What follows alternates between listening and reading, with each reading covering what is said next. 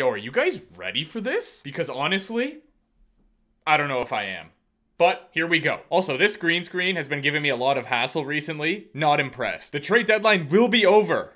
Maybe long over by the time this video comes out, but there have been some crazy moves going on. So I'm recording this video on March 1st, which means there's still a couple days of trades left, but I feel like a lot of the big pieces have already been moved. There's still some names like Jakob Chychrun and a couple others, but yeah, it's like, you know, not limiting who we could draft that much. However, Patrick Kane is now eligible, just saying. So let's go ahead, randomize, find out what team we're to be using. It is the Avs. I feel like we land on the same five or six teams every time. Do you guys know who's definitely not ready for this? Spoiler alert, it's Jabroni. Definitely not going with owner mode. Fantasy draft we will be doing. Salary cap, we'll leave that on. Player morale, mm, no, but we will allow CPU trades. And I think that's it. I think we're ready to go. Ready to rumble, if you will. If you won't, no worries. Waiver notifications and trade offer. Only send me stars, alright? I'm not looking to trade a seventh for a seventh. Alrighty then. We are going to get pick number 25. I feel like we're gonna have a late one here.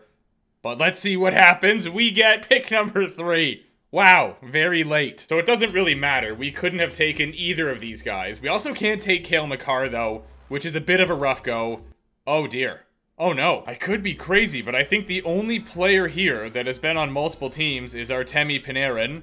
Crosby, no. Fox, no. I could see an argument for this one, but he never played for them. Tkachuk, yeah. 92 overall and making 9.5 versus 9. Ooh, actually, you know what? What to do, what to do. I just took Panarin recently. That's the only reason I'm debating.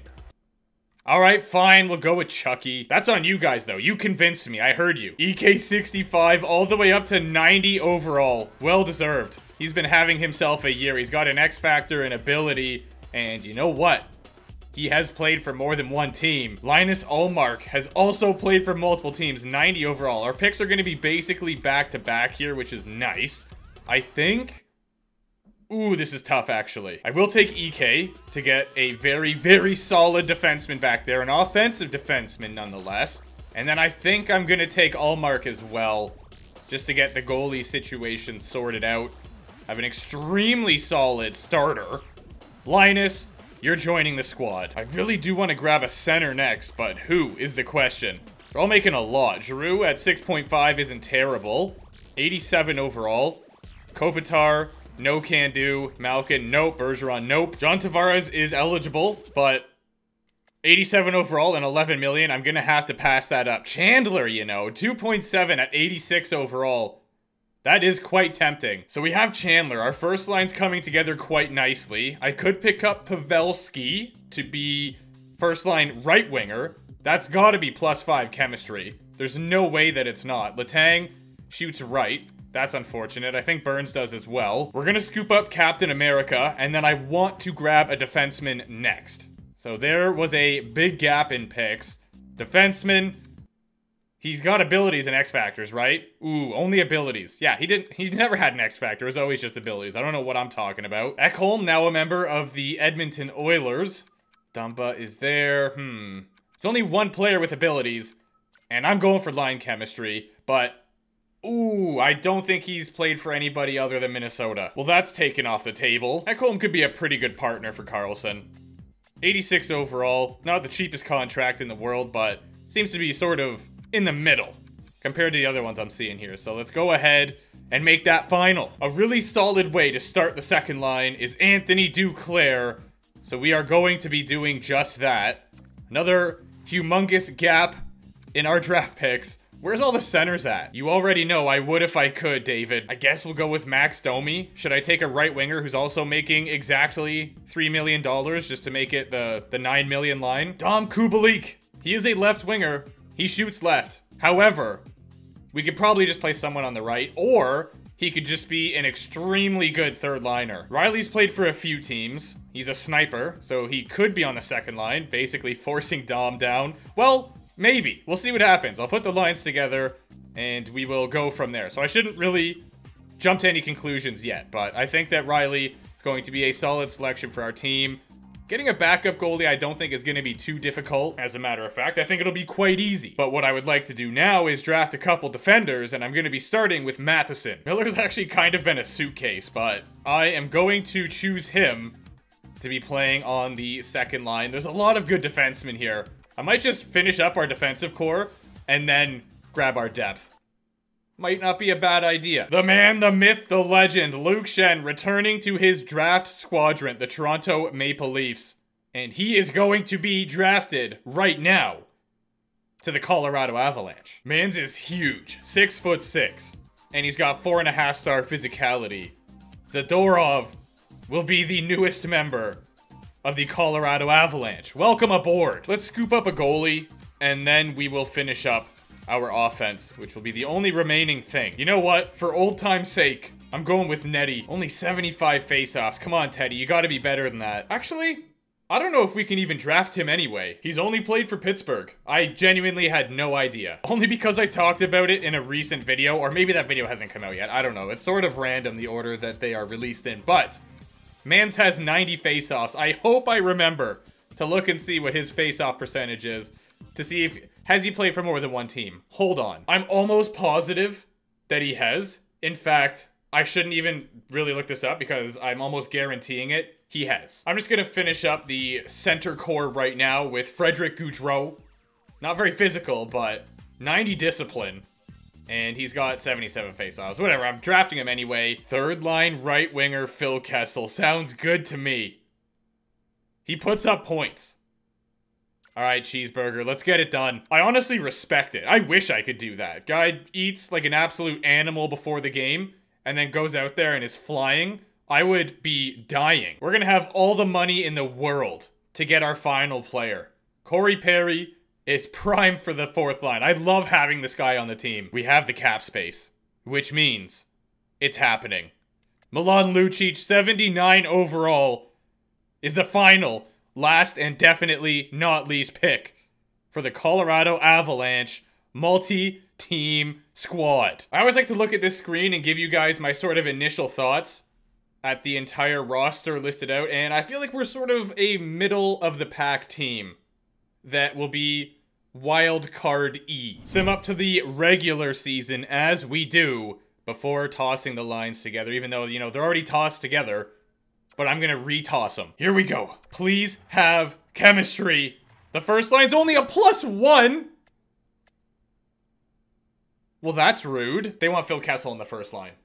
That's the first decision I've ever respected Jabroni making. However, I will not allow it. And I'm also gonna go and send down the players that I did not draft, aka you two. I don't know. We might have a bit of a stinker here. Do we at least have good defensive chemistry? Oh my word. If I move Luke Schenn up, at least it is triple zero. But that's about as good as it's gonna get. Oh. I blame our coach. I should fire him, but I'm not gonna. I've made a minor move. Domi is gonna be the second line center. We will have Chandler on the left wing, and then Duclair on the right side. If it's not working out, I'll move it back. But this is how we are running for now. Linus, I'm gonna need a career year out of you, aka exactly what you're doing in real life right now. We have roll three lines, so this line ain't getting a whole lot of ice time. Predictions, eh? Well, I am gonna say that we get 41 wins. I think we're gonna just surpass 40. I will say Tkachuk gets the most points, or will I? The plot thickens. I kind of want to take EK65. No, I'll stick with Chucky, and I'll say 70, flat. And again, at the trade deadline, if there are players available that have played for multiple teams, then we can go ahead and try to acquire them. But we'll see what's going on at that point. 7, 5, and 2, so it's a very untelling start as to how the rest of the season's gonna go. But I can already envision a massive L streak inbound. Or maybe we're just good? Look at us go. 17, 10, and 2 currently second in the division. We lost two games, but bounced right back with three W's. Make it four.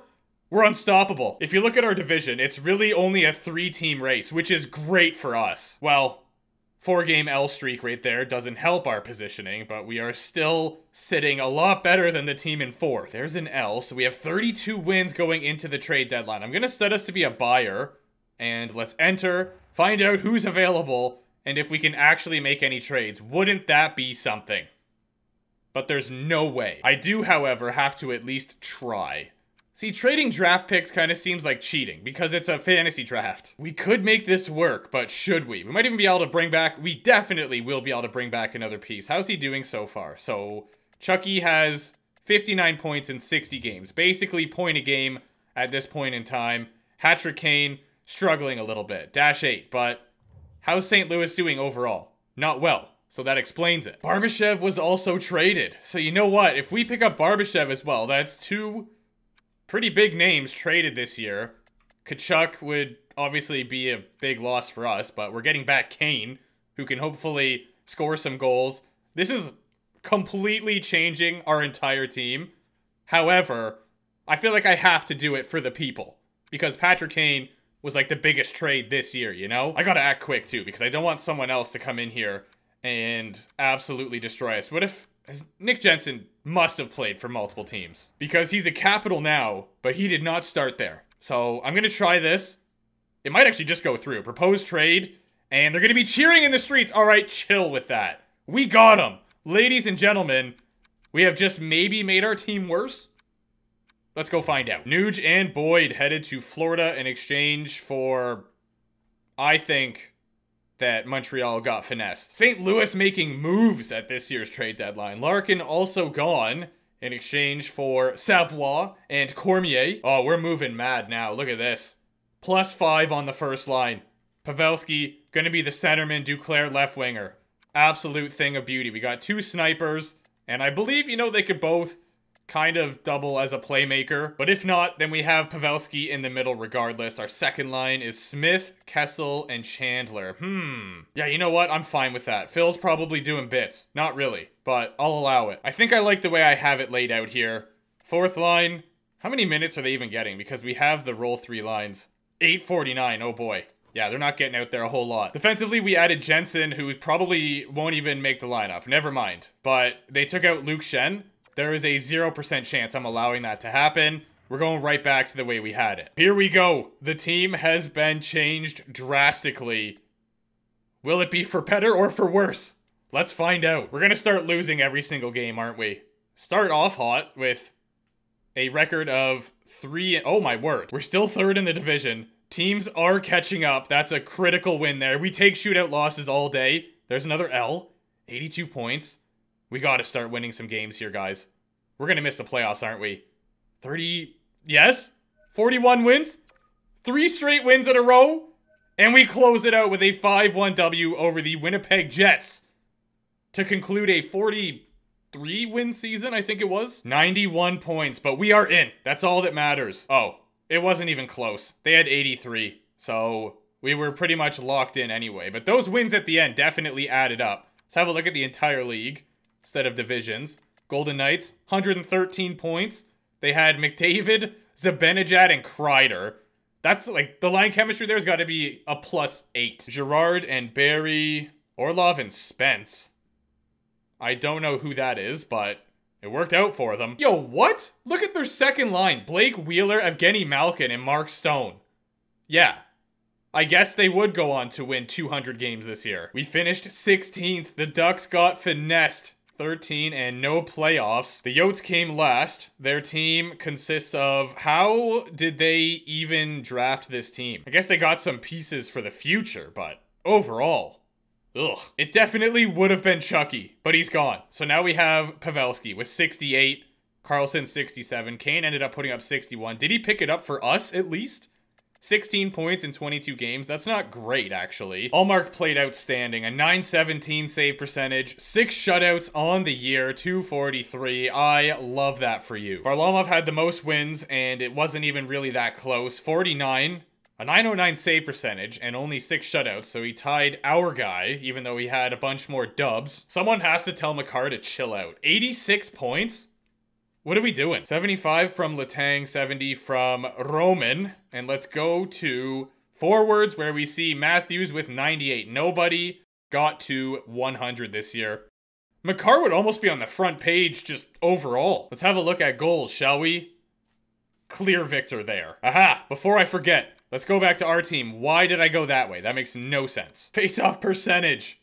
Lucic? What? He took 827 and won 461, so a 55.7. Very happy with that. 54.2 for Joe. Now, before we start our playoff run, I do want to change things up a little bit. Call me crazy, but I'm putting Max Domi on line number one. He's got the perfect fit and he's a playmaker. Now our second line has Duclair, Chandler, and Phil. Riley Smith with Barbashev and Kubalik. I'm down with this team. Defensively, still not great going on here, but it is what it is. I should have maybe got a defenseman. I didn't even think of that. I just got Kane and was basically like, yeah, job done. Smashville also finished with 43 wins. However, we had a better last 10, so we're coming in just slightly hotter than they are. Let's go ahead sim the first three games and see what kind of situation we are in. That's a great start. Phenomenal start. That's all right. Even if they win the next two games, they can't close out the series. So I'm going to go ahead and simulate, and we have ourselves the one game advantage. Will there be a game seven? Hopefully not. There is not. Closing out round one in six games is your Colorado Avalanche. And now moving on to the conference semifinals against the Vancouver Canucks. Let's go ahead, sim the first three games again. Oh my word. We're just cleaning up here. I'm taking credit, by the way. That line change is what caused this. I am going to eat my own words so fast. Thank you. Conference finals time. We have McDusty and the Golden Knights. I believe he was on the Golden Knights. Anyway, we're going to sim the first three games as we do. That got ugly real quick. Okay, well, you know what? Let's just dip out while we can. Clearly, we didn't stand a chance. They have to go on to win the Stanley Cup, no? There's no way that they lose in the finals after dusting us that easily. Yep. Barbashev led us for points in the playoffs. What are we on here, guys? What happened? Maybe I should have kept Tkachuk. Nine points in 16 games for Kane. What were you doing out there? I have so many questions. Man's decided to be a ghost in the playoffs sub 900 save percentage, so that's not going to get the job done. Varlamov once again finds himself at the top. A 928 save percentage is outrageous. Defensively, Dewey, 20 points in 18 games. He led. And Girard was the next closest, who played four more games and had four less points. To be fair, Makar was on pretty good pace, but got put out early. Sorry about that. EK65, 11 points in 16 games. I mean, he had more than Kane. Filip Forsberg did great. 28 points in 23 games, but too bad none of them are winning the Conn Smythe. It's going to go to Zibanejad, I would imagine. Or maybe, you know what? There's a sliver of a chance that Varlamov gets it. There's only one way to find out. And I'm also going to be looking for any Colorado Avalanche logos, but I'm not sure we'll be seeing any. Golden Knights cleaned up there, and we do not see any... Oh, we do! Never mind! Linus Ullmark. And Zibanejad would in fact get the Conn Smythe. Calgary was really the only team to challenge the Golden Knights. After that, it was a pretty smooth sailing experience for them. But yes, there is your multi-team players only draft. Hopefully you enjoyed that. If you have other draft ideas, comment them down below.